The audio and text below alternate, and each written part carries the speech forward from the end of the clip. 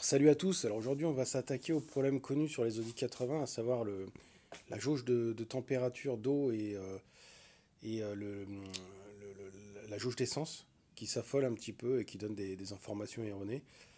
Donc pour ça il faut euh, donc il y a deux vis en dessous là qu'il faut défaire pour, pour enlever la partie supérieure du cache au niveau du volant. Et puis ensuite on a accès à deux vis bah, pour déposer le, compteur, donc il n'y a rien de plus facile. Hein. Et derrière, après, bon, on fait tous les faisceaux un par un. On ne peut pas se tromper. Hein, ils sont, euh, il n'y en a pas un de la, même, de la même taille et de la même forme. Donc, euh, ensuite, on arrive sur, euh, sur un composant. Alors, c'est un régulateur de tension. a priori, ce serait lui qui serait, qui serait incriminé. puisque chez Audi, ils ont refait, j'ai une facture, en fait, ils ont refait les soudures. Donc en général, c'est soit les soudures, soit le composant. Donc vu que les soudures ont été refaites et que le compteur a été démonté, je vais partir du principe euh, que euh, le problème vient de ce, de ce régulateur. Alors pour ça, on enlève la vis, on le, on défait de son logement. Alors il n'est pas soudé, il est juste, euh, il est juste emmanché. Donc bon, là, là je me pose des questions sur, sur les contacts. Moi je pense que je vais le souder. Donc voilà, le composant neuf. Alors c'est pas la même référence. J'ai trouvé ça sur eBay. Il faut le monter, il faut le monter à l'envers. Voilà, parce que les polarités sont inversées. Donc bien penser à le monter à l'envers. Euh, il faut tordre les pattes pour, euh, pouvoir les, insérer dans, le logement, donc à l'identique de, de, bah, celle qu'on a enlevée en fait, hein, du composant qu'on a enlevé. Donc pour ça une petite pince euh, plate. Et puis on fait ça tranquillement.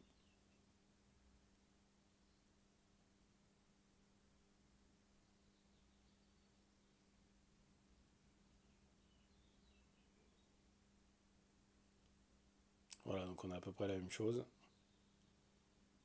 On regarde si ça s'insère bien, donc à l'envers. Hein.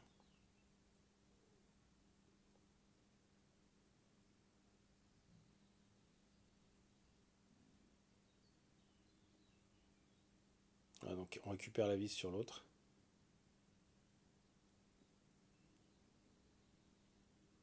Et on remet la petite vis cruciforme pour tenir l'ensemble.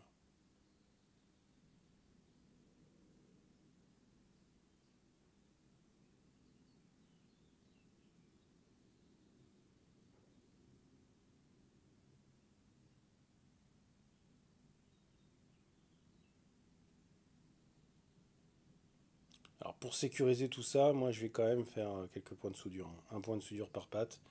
Comme ça au moins je serai sûr que j'aurai pas à redémonter. En tout cas pas pour ça.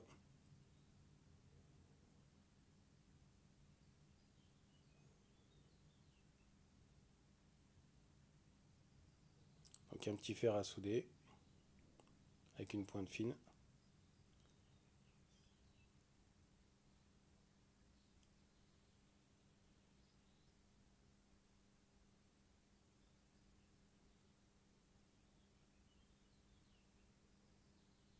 Et c'est terminé. Donc là maintenant on va pouvoir le remonter sur la voiture, le bloc complet. Donc là je l'ai juste repositionné, j'ai rebranché. Et euh, bah, déjà bonne nouvelle, j'ai euh, la moitié du plein. Donc comme j'avais mis à peu près 25-30 litres, euh, c'est à peu près cohérent. Avant ça m'affichait n'importe quoi. Et au niveau de température, donc là j'ai laissé tourner un peu le moteur. Bon, je suis entre 70 et 80. Donc je vais prendre un thermomètre et puis je vais aller, je vais aller mesurer un thermomètre laser et je vais mesurer la température au niveau des, durites de refroidissement. Donc là, voilà, 74, 78 euh, en fonction de l'endroit où je prends la température. Et euh, bah, ça correspond à ce que j'ai euh, au niveau du compteur. Donc a priori, c'est résolu. Donc prochaine vidéo, bah, j'ai changé la lunette arrière. Et ça n'a pas été une mince affaire.